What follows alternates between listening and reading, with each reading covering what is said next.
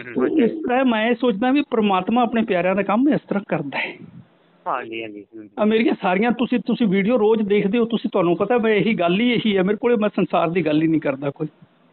ਹਾਂਜੀ ਹਾਂਜੀ ਹਾਂ ਹਾਂ। ਬਸ ਰੱਬ ਦੀ ਗੱਲ ਕਰੋ। ਬਸ ਮੇਰਾ ਜੀਵਨ ਇਹ ਹੈ ਜਿੰਨਾ ਵੀ ਹੈ ਜਿੰਨਾ ਕੁ ਰਹਿੰਦਾ ਉਹ ਮੈਂ ਪ੍ਰਮਾਤਮਾ ਨੂੰ ਆਪਣਾ ਹੱਥ ਫੜਾਇਆ ਹੋਇਆ ਹੈ। ਅੱਛਾ ਜੀ।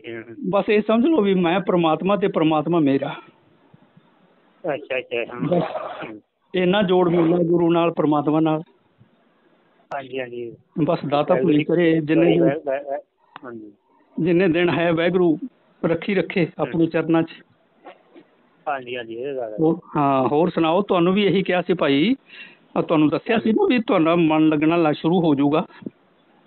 ਸਮਝ ਗਏ? ਉਹ ਤੁਹਾਨੂੰ ਦੱਸੀ ਸੀ ਹਾਂਜੀ। ਦੱਸ- ਸੀ ਤੇ ਅਜੇ ਤੇ ਵਾਹਿਗੁਰੂ ਜੀ ਕਿਸੇ ਪਾਸੇ ਨਹੀਂ ਅਜੇ ਮਨ ਨਹੀਂ।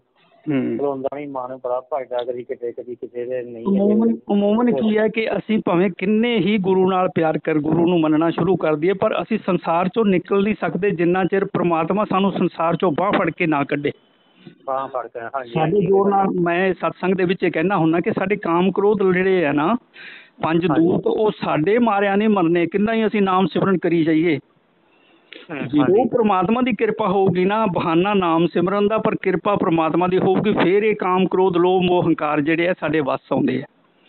ਹਾਂਜੀ ਹਾਂਜੀ। ਹਾਂ ਨਹੀਂ ਤਾਂ ਇਹ ਸਾਨੂੰ ਬਹੁਤ ਤੰਗ ਕਰਦੇ ਆ ਸੰਸਾਰ ਦੇ ਵਿੱਚ ਸਾਨੂੰ ਜੀਣ ਨਹੀਂ ਦਿੰਦੇ।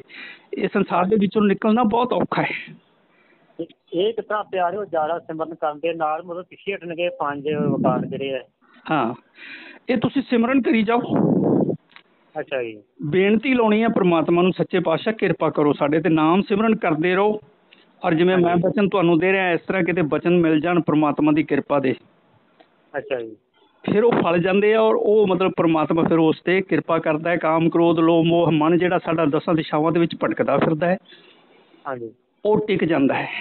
ਬਾਹਰ ਨਹੀਂ ਭਜਦਾ ਫਿਰ ਉਹਨੂੰ ਕਸ਼ਟ ਨਹੀਂ ਹੁੰਦਾਗਾ। ਜਿਹੜਾ ਕਾਮ ਹੈ। ਸਾਨੂੰ ਤੰਗ ਕਰਦਾ ਹੈ ਵਾਸਨਾ ਸਾਨੂੰ ਤੰਗ ਕਰਦੀ ਹੈ ਉਹ ਟਿਕ ਜਾਂਦੀ ਹੈ ਉਹ ਉਹ ਉੱਠਦੀ ਨਹੀਂ ਉਹ ਜਾਗਦਾ ਹੀ ਨਹੀਂ ਮੁੜ ਕੇ ਕਾਮ। ਹਾਂਜੀ ਹਾਂਜੀ। ਇਸੇ ਤਰ੍ਹਾਂ ਮੋਹ ਲੋਭ ਹੰਕਾਰ ਹੰਕਾਰ ਇੱਕ ਦੀਗਰ ਵਸਤੂ ਹੈ ਉਹ ਦੀਗਰ ਬਹੁਤ ਜ਼ੋਰ ਨਾਲ ਯਤਨ ਨਾਲ ਮਤਲਬ ਉਹ ਵਸ ਹੁੰਦਾ ਹੈ। ਇਹ ਅਖੀਰਲੀ ਜਿਹੜੀ ਹੈ ਇਹ ਕਹਿ ਲਓ ਕਿ ਸਾਡੀ ਕੋਸ਼ਿਸ਼ ਹੈ ਕਿ ਹੰਕਾਰ ਜਿਹੜਾ ਹੈ ਹੋਣਾ ਪ੍ਰਮਾਤਮਾ ਦੀ ਕਿਰਪਾ ਨਾਲ ਹੀ ਪੰਜੇ ਵਸ ਹੈ। ਹੂੰ।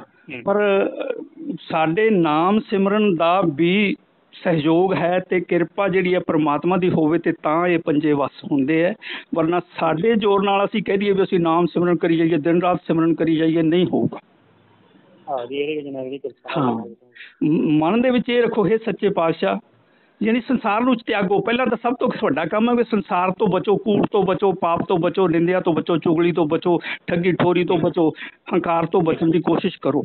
ਜਦੋਂ ਤੁਸੀਂ ਇਸ ਤੋਂ ਇਸ ਪਾਸੇ ਤੋਂ ਨਿਕਲ ਕੇ ਸੰਸਾਰ ਚੋਂ ਨਿਕਲ ਕੇ ਤੁਸੀਂ ਪ੍ਰਮਾਤਮਾ ਵਾਲੇ ਪਾਸੇ ਆ ਜਾਓਗੇ ਨਾ ਹਾਂਜੀ। ਉਦੋਂ ਮਤਲਬ ਤੁਹਾਡੇ ਤੇ ਪ੍ਰਮਾਤਮਾ ਦੀ ਕਿਰਪਾ ਆਪਣੇ ਆਪ ਹੀ ਹੋਣੀ ਸ਼ੁਰੂ ਹੋ ਜਾਣੀ ਹੈ। ਤੁਹਾਨੂੰ ਤੁਹਾਡੀ ਆ ਪੁੜਪੜੀ ਜਿਹੜੀ ਹੁੰਦੀ ਹੈ ਨਾ ਇਸ ਦੁਆਰਾ ਮਤਲਬ ਸਾਨੂੰ ਪ੍ਰਮਾਤਮਾ ਫਿਰ ਆਪਣੀ ਸੂਝ ਬਖਸ਼ਦਾ ਹੈ ਪ੍ਰਮਾਤਮਾ ਆਪਣਾ ਗਿਆਨ ਬਖਸ਼ਦਾ ਹੈ ਪ੍ਰਮਾਤਮਾ ਆਪਣਾ ਬਾਣੀ ਦਾ ਵਿਚਾਰ ਗੁਰਬਾਣੀ ਸਾਨੂੰ ਸਮਝਾਉਣ ਲੱਗ ਜਾਂਦੀ ਹੈ ਹਾਂਜੀ। ਫਿਰ ਇਸ ਤਰ੍ਹਾਂ ਨਾਲ ਮਤਲਬ ਸਾਡੇ ਤੇ ਉਹ ਪ੍ਰਮਾਤਮਾ ਦੀ ਕਿਰਪਾ ਹੋਣੀ ਸ਼ੁਰੂ ਹੋ ਜਾਂਦੀ ਹੈ ਔਰ ਸਾਡਾ ਜੀਵਨ ਜਿਹੜਾ ਸੰਸਾਰ ਚੋਂ ਨਿਕਲ ਕੇ ਪ੍ਰਮਾਤਮਾ ਦੇ ਚਰਨਾਂ 'ਚ ਜਾ ਬਹਿੰਦਾ ਹੈ। ਪ੍ਰਮਾਤਮਾ ਦੇ ਚਰਨਾਂ ਜਾ ਬਹਿਣਾ ਕੋਈ ਇਹ ਨਹੀਂ ਵੀ ਮਤਲਬ ਸਾਨੂੰ ਮਤਲਬ ਵੀ ਅਸੀਂ ਭੱਜ ਕੇ ਤੇ ਜਾ ਕੇ ਬਹਿ ਗਏ। ਨਹੀਂ ਬਸ ਇਹ ਕਰਮ ਨੇ ਸਾਡੇ। ਜਦੋਂ ਸਾਡਾ ਚਰਨ ਸਹੀ ਹੋ ਜਾਏਗਾ ਜਦੋਂ ਸਾਡੇ ਕਰਮ ਸਹੀ ਹੋ ਜਾਣਗੇ ਸੁੱਚੇ ਹੋ ਜਾਣਗੇ ਨਿਰਮਲ ਹੋ ਜਾਣਗੇ ਮਨ ਸਾਡਾ ਨਿਰਮਲ ਹੋ ਗਿਆ। ਹੂੰ ਹਾਂਜੀ। ਠੀਕ ਹੈ? ਉਦੋਂ ਪਰਮ ਪਿਤਾ ਪਰਮਾਤਮਾ ਦੀ ਕਿਰਪਾ ਸਾਨੂੰ ਅਵਸ਼ ਹੀ ਮਿਲਣੀ ਹੈ। ਇਹ ਸਮਝ ਲਓ ਕਿ ਕੋਈ ਉਹਨੂੰ ਰੋਕ ਨਹੀਂ ਸਕਦਾ। ਪਰਮਾਤਮਾ ਦਾ ਮਿਹਰ ਭਰਿਆ ਹੱਥ ਸਾਡੇ ਸਿਰ ਤੇ ਰਹੇਗਾ ਔਰ ਪਰਮਾਤਮਾ ਸਾਡੇ ਹਮੇਸ਼ਾ ਅੰਗ ਸੰਗ ਰਹੇਗਾ। ਗੁਰ ਮੇਰੇ ਸੰਗ ਸਦਾ ਹੈ ਨਾਲੇ। ਸਿਮਰ ਸਿਮਰ ਨਾਮ ਸਿਮਰਨਾ ਤਿਸ। ਸਦਾ ਤਿਸ ਸਦਾ ਸਮਾਲੇ ਆਪਣੇ ਹਿਰਦੇ ਦੇ ਵਿੱਚ ਸਮਾ ਲਾ ਉਸ ਨੂੰ ਬਸ ਜਦੋਂ ਤੂੰ ਹਿਰਦੇ ਦੇ ਵਿੱਚ ਵਸ ਗਿਆ ਪ੍ਰਮਾਤਮਾ ਤੇਰੇ ਨਾਲ ਹੈ ਤੂੰ ਪ੍ਰਮਾਤਮਾ ਦੀ ਸ਼ਰਨ ਬੈਠਾ ਹੈ ਪ੍ਰਮਾਤਮਾ ਤੇਰੇ ਤੇ ਹੱਥ ਦੇ ਕੇ ਤੈਨੂੰ ਹਰ ਪਾਸਿਓਂ ਬਚਾ ਕੇ ਰੱਖੇਗਾ। ਹੂੰ ਹਾਂਜੀ ਬਸ ਵਾਹਿਗੁਰੂ ਭਲਾ ਕਰੇ। ਇਹੋ ਜੀ ਜੇ ਕਿਤੇ ਵਿਧ ਇਹ ਜਿਹੜੀ ਤੁਹਾਨੂੰ ਮੈਂ ਦੱਸ ਰਿਹਾ।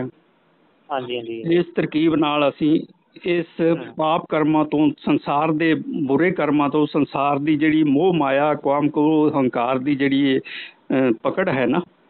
ਉਹ ਸਾ ਨਾਮ ਦੇ ਸਦਕਾ ਪ੍ਰਮਾਤਮਾ ਦੀ ਕਿਰਪਾ ਨਾਲ ਜੇ ਵਸ ਆ ਜਾਵੇ ਸਾਡੇ ਤੇ ਸਾਡਾ ਜੀਵਨ ਜਿਹੜਾ ਪਲਟਾ ਖਾ ਜਾਂਦਾ ਹੈ। ਗੁਰਸਿੱਖ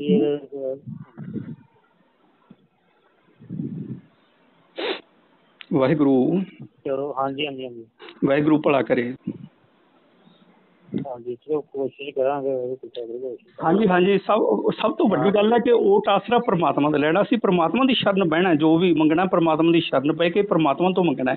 ਸੰਸਾਰ 'ਚ ਕਿਸੇ ਹੋਰ ਕਿਸੇ ਹੋਰ ਦੀ ਸੇਵਾ ਨਹੀਂ ਕਰਨੀ, ਕਿਸੇ ਹੋਰ ਦੇ ਮੱਥਾ ਨਹੀਂ ਟੇਕਣਾ, ਸਿਰਫ ਟੇਕਣਾ ਤੇ ਗੁਰੂ ਗ੍ਰੰਥ ਸਾਹਿਬ ਦੇ ਜਾਂ ਵਾਹਿਗੁਰੂ ਦੇ ਚਰਨਾਂ 'ਚ ਮੱਥਾ ਟੇਕਣਾ ਹੈ। ਜਿੱਥੇ ਵੀ ਤੁਸੀਂ ਖੜੇ ਹੋ ਸੰਸਾਰ ਦੇ ਵਿੱਚ, ਕਿਤੇ ਸੜਕ ਤੇ ਖੜੇ ਹੋ, ਕਿਤੇ ਗੱਡੀ 'ਚ ਖੜੇ ਹੋ, ਕਿਤੇ ਵੀ ਕਰਿਓ, ਆਪਣੇ ਮਨ ਦੇ ਵਿੱਚ ਜੇ ਤੁਹਾਨੂੰ ਕੋਈ ਐਸੀ ਤਕਲੀਫ ਹੁੰਦੀ ਹੈ ਜਾਂ ਤੁਹਾਨੂੰ ਕੋਈ ਲੋੜ ਪੈਂਦੀ ਹੈ ਜਾਂ ਕੋਈ ਮਨ ਦੇ ਵਿੱਚ ਬੁਰਾਈ ਆ ਜਾਂਦੀ ਹੈ, ਉਦੋਂ ਹੀ ਉੱਥੇ ਖੜੇ ਹੀ ਪ੍ਰਮਾਤਮਾ ਨੂੰ ਬੇਨਤੀ ਲਾਓ ਤੁਹਾਡੀ ਪ੍ਰਮਾਤਮਾ ਸੁਣੇਗਾ।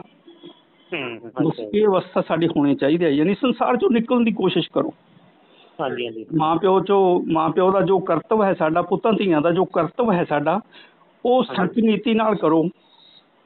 ਆਪ ਕਰਮ ਆਪ ਕਰਮ ਕਰਕੇ ਪੁੱਤਰਾਂ ਨੂੰ ਧੀਆਂ ਨੂੰ ਲਿਆ ਕੇ ਧਨ ਇਕੱਠਾ ਨਾ ਕਰਕੇ ਦਿਓ। ਅੱਛਾ ਜੀ ਹਾਂ ਬਸ। ਇਹ ਸਮਝ ਲਓ ਸਾਡਾ ਜੀਵਨ ਜਿਹੜਾ ਹੈ ਨਿਰਮਲ ਹੋ ਜਾਏਗਾ। ਜਦੋਂ ਨਿਰਮਲ ਹੋ ਗਿਆ ਕਬੀਰ ਮਨ ਨਿਰਮਲ ਭਇਆ ਜੈਸੇ ਗੰਗਾ ਨੀਰ ਪਾਛੈ ਲਾਗੋ ਹਰ ਫਿਰੈ ਕਹਿਤ ਕਬੀਰ ਕਬੀਰ ਹੂੰ ਹਾਂਜੀ ਬਸ ਵਾਹਿਗੁਰੂ ਭਲਾ ਕਰੇ ਜਿਹੜਾ ਵੀ ਵੈਗਰੂ ਕਿਰਪਾ ਕਰੂਗਾ ਹਾਂ